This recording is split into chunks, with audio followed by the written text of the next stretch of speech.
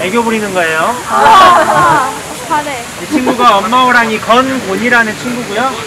이 친구가 넷째 아름이, 아 다운이, 아 나라네요 나라. 지금 시간은 간단하게 이 친구들 건강 상태 확인하는 시간이고요.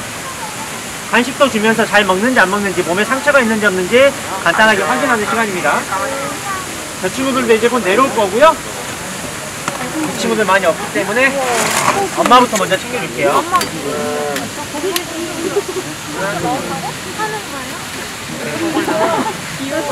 나라야, 나라는 여기, 나라야.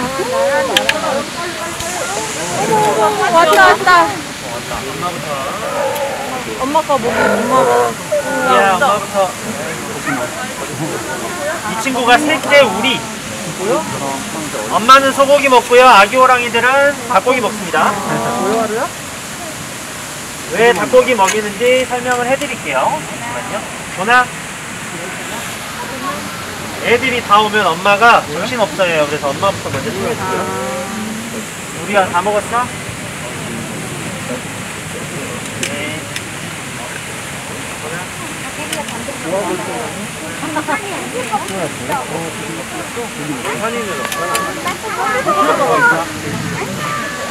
왔다, 왔다, 또 왔다.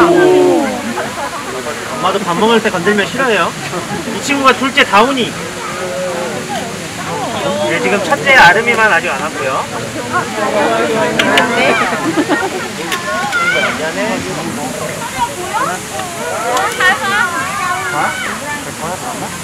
다운아, 한대. 도나. 엄마 왜 안 와? 빨리 와봐. 해보러 갈 거야? 아,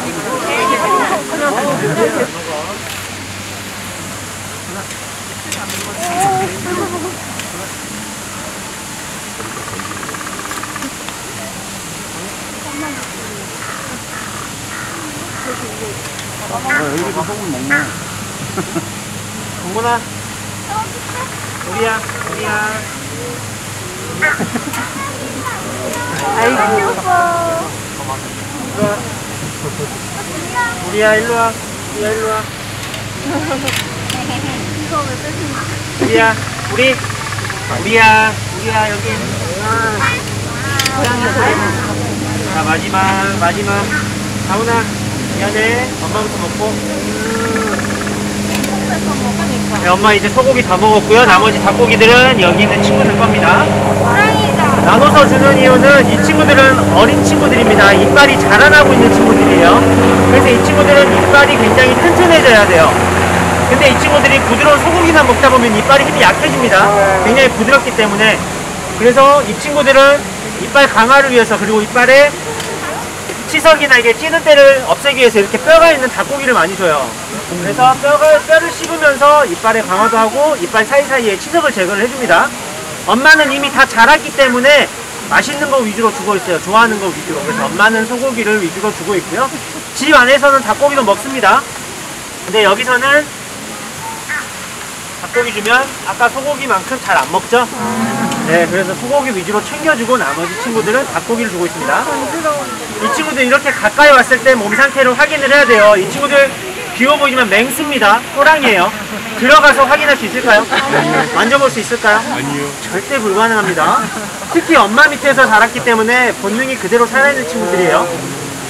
근데 이 친구들은 이렇게 가까이 왔을 때만 확인이 가능합니다. 이렇게 왔을 때 꼼꼼하게 몸에 이상이 있는지 없는지 나라야 일어나봐. 앉을 거야? 예, 이렇게 앉아있을 때 꼼꼼하게 몸에 상처가 있는지 없는지 확인해야 합니다. 이 친구들은 장난을 치더라도 워낙 힘이 세기 때문에 장난을 치다가도 다치는 경우가 있어요. 하지만 그 상처를 빨리 확인하지 못하면 더 크게 번지기 때문에 빨리 확인하는 게 가장 중요해서 매일같이 확인을 하고 있고요. 도나 일어나 볼까? 있네. 아이고. 도나 일어나 봐. 우와.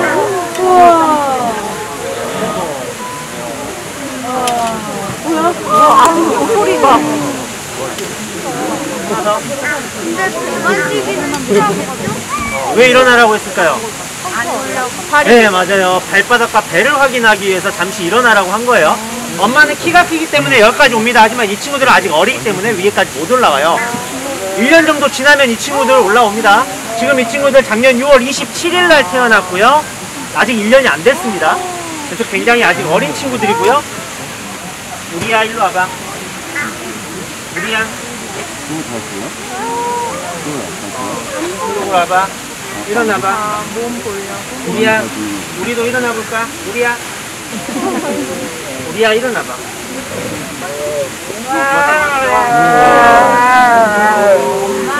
네, 아기도 자기가 먹겠다고 지금 엄마한테 반항하고 있는 거예요. 이렇게 갖고 오시면 알아서 다 끊어 먹습니다. 그래서 매일같이 이 친구들 상처가 있는지 없는지 확인을 하고요. 그 다음에 밥을 먹는 속도나 잘 씹어 먹는지도 확인을 합니다. 그래서 이빨이 이상이 있는지 없는지도 확인을 하고 있고요. 다 먹었어요, 닭다리 하나. 예, 금방 먹죠. 여기서는 그냥 간단하게 확인하기 위해서 이렇게 잘라져 있는 걸 주고요. 집안에서는 그냥 닭 한 마리 반으로 잘라서 던져주면 알아서 다 뜯어 먹어요. 그래서 여기는 간식입니다. 제가 가져온 거는 간식이고요. 나머지는 집안에서 먹을 거예요. 그리고 이 친구들이 지금 손님분들이 많이 걱정하시는 게 전에 봤던 손님분들이 살이 빠졌다고 많이 걱정을 해주세요. 하지만 살이 빠진 게 아니라 털이 빠진 거예요. 이 친구들은 한국 호랑입니다. 겨울을 좋아하는 친구들이에요. 겨울에는 몸이 좀 따뜻해야 잘 버티겠죠. 그래서 이 친구들은 겨울털, 여름털이 따로 있습니다. 지금이 겨울털이에요. 굉장히 깁니다. 호랑이들 중에서도 털이 가장 긴 친구들이 여기는 한국 호랑이들이에요. 그래서 이 친구들이 겨울철에는 이렇게 긴 털을 가지고 있다가 3월에 털갈이를 하기 시작해요. 그래서 털이 빠집니다. 빠지고 얇은 여름털이 나기 시작해요. 그렇기 때문에 털이 빠지고 얇은 털이 나기 때문에 몸이 좀 얄쌍해 보입니다. 그래서 살이 빠졌다고 생각들 많이 하시는데 살이 빠진 게 아니라 털이 빠진 거예요. 그래서 겨울에도 손님분들이 많이 얘기하시기를 살이 쪘다기보다는 털이 쪘다라고 해요.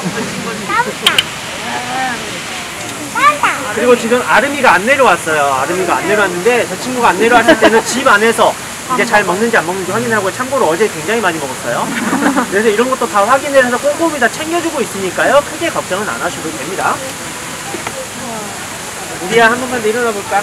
우리야, 우리야 일어나 봐. 어, 일어나 봐. 네, 지금 제 키만 해요. 이 친구들 일어났을 때 방금 발바닥과 배를 봤어야 되고요. 봤을 때 크게 이상 없었습니다. 이 도구는 간단하게 타겟봉이라고 해서 집중을 시켜주는 거예요. 우리야 이쪽으로 와봐 해서 이 공을 보여주면 이 공만 따라다닙니다. 그래서 저희가 이렇게 오른쪽 왼쪽의 상처를 다 확인을 하는 거예요. 그리고 제가 이게 이 친구 왔을 때 이 소리를 들려줍니다. 우리야 이쪽으로 와봐. 잘했어라는 소리예요. 그래서 제가 원하는 위치로 갔을 때 우리야 얘한테 같이 잘했어 라고 하고 간식을 주면 이 친구들은 나중에 이 공만 계속 따라다녀요. 그래서 저희가 왔다 갔다 일어났다까지 연습을 하는 거고요. 이 소리를 하는 이유는 목소리가 다 달라요. 살짝 세면서 담당을 하고 있습니다. 톤이나 억양이 다 다르기 때문에 똑같은 소리로 칭찬을 하기 위해서 클리커라는 도구를 활용을 하고요. 우리야, 다시 한번 일어나 볼까? 우리야, 우리야, 우리야, 일어나봐. 오, 잘했어. 일로 와. 원래라면 처음 왔을 때 말을 안 하고 막 챙겨주면 이 친구들이 안 가고 버티는데 제가 좀 말을 많이 하다 보니까 지쳐서 간 거고요. 아니도 집에 가서는 잘 먹습니다. 여기서 안 먹었다고 해서 너무 걱정 안 하셔도 돼요. 예, 저 친구가 첫째 아름이. 태어났을 때는 저기 있는 아름이가 가장 컸어요. 그리고 나라가 가장 작았습니다. 근데 지금은 역전이 됐어요. 다운이와 아름이 둘째, 넷째가 수컷입니다. 다운이와 나라가 수컷이기 때문에 여기는 우리랑 아름이보다는 훨씬 더 클 거예요. 어, 이거 하나 남겨놨어. 엄마 호랑이 커 보이죠? 암컷은 작습니다. 아침에 나와 있던 친구가 아빠 태우라고 해서 혼자 왔다 갔다 하는 친구 있을 거예요. 그 친구가 아빠 호랑입니다. 여기 있는 아름이는 엄마처럼 클 거고요. 다운이랑 나라는 아빠처럼 굉장히 크게 자랄 겁니다. 엄마 몸무게 최대 몸무게 180kg, 아빠 몸무게 최대 350g, 50kg까지 자라기 때문에 크기 차이가 많이 나요. 그래서 호랑이는 크기로 구분이 가능합니다. 그래서 똑같은 양을 먹어도 나라랑 다운이가 성장 속도가 빠를 거예요. 특히 이 친구. 원래는 이 두 마리의 친구가 크기 차이가 많이 났어요. 근데 지금은 이 친구가 좀 더 크죠. 얼굴 크기도 좀 더 커지고요. 그래, 나라도 일어나고 그냥 없어 근 데. 얘다 먹었어요. 우리가 늦게 왔어. 늦게 왔어.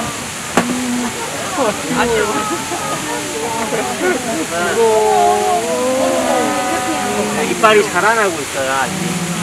다큰 건 아니고요.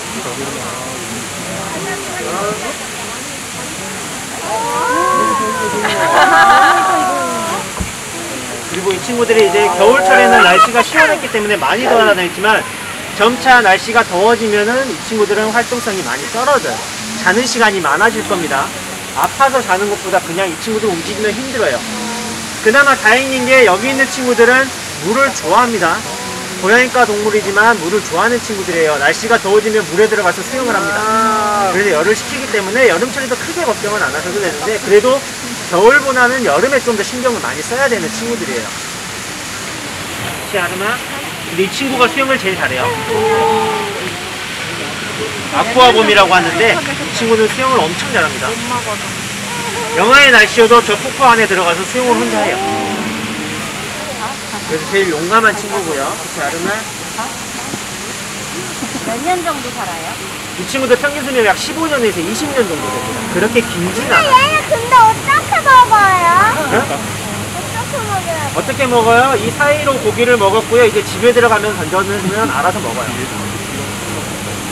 그래서 봤을 때큰 이상은 없고요. 그리고 이 친구들 여기서 간식이 적었던 이유는 저희가 저기 장난감이 있어요. 공 안에 먹이를 넣어놓고 공을 굴리면 떨어지면 그걸 먹는 거예요. 이 친구들 심심해하지 말아요. 그렇기 때문에 저 안에 오늘 먹이를 많이 넣어놨기 때문에 그걸 먹어서 지금 더 안 올 수도 있고요. 여기에다 안 넣어주면은 여기 와서 많이 먹고요. 여기다 넣어주면 굴려서 많이 먹습니다. 저렇게 노는 거 보면은 크게 나고 원래라면 저희가 시간을 정해놓고 터미널로 진행을 했었는데 코로나 때문에 코로나가 터진 이후로 지금까지는 계속 못하고 있고요. 오늘도 간단하게 이 친구들 보면서 그냥 설명만 해드리는 거고요. 당분간은 아마도 계속 이렇게 확인만 할 겁니다. 시간은 정해져 있지 않습니다. 그때 그때 계속 달라져요. 한 번에 새끼는 얼마나 나와요? 몇 마리나? 이 친구들 평균적으로는 약 한 마리, 두 마리. 네, 많게는 세 마리 정도까지 낳는데 이렇게 많이 낳은 거는 정말 드문 거고요. 거의 두 마리에서 세 마리 정도라고 보시면 되고요. 근데 야생에서는 두 마리, 세 마리 낳아도 생존 확률이 굉장히 떨어져요. 이 친구들은 지금 어리기 때문에 같이 있을 수 있고요. 좀 더 크면은 좀 독립을 할 거예요. 네. 호랑이랑 사자랑 가장 큰 차이점은 무리 생활을 하느냐 단독 생활을 하느냐의 차이입니다.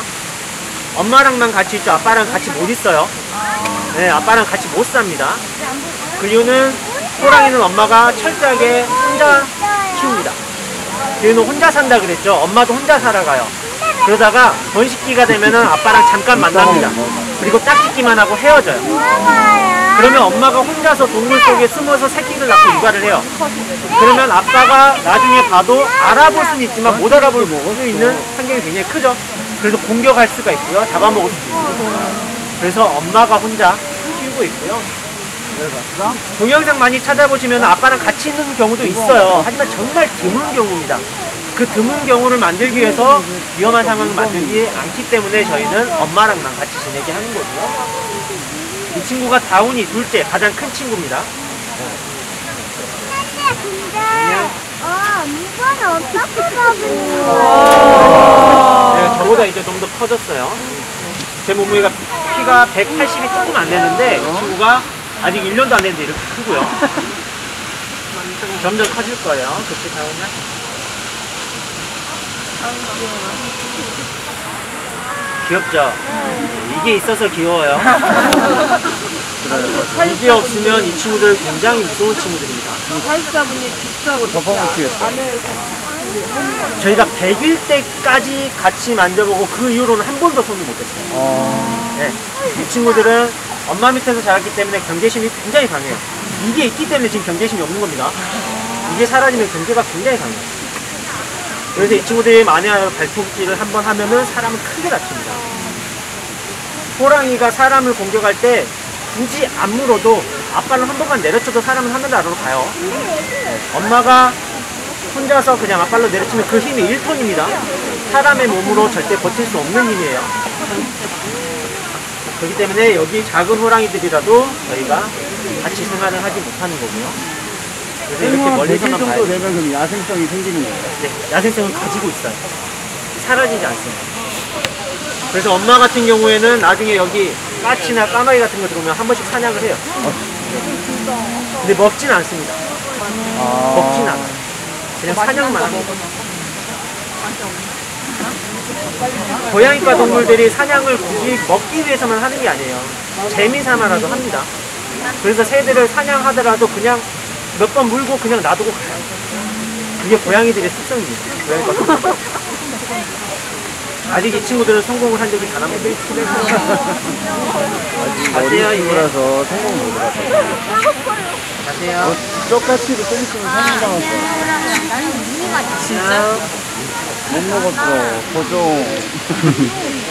코가 아직 거뭇거뭇한 게 어린 거예요. 여기서 분홍색이 됐다가 나이 들면 검은색 점들이 생기기 시작해요. 그럼 나이가 든 호랑이라고 보시면 됩니다.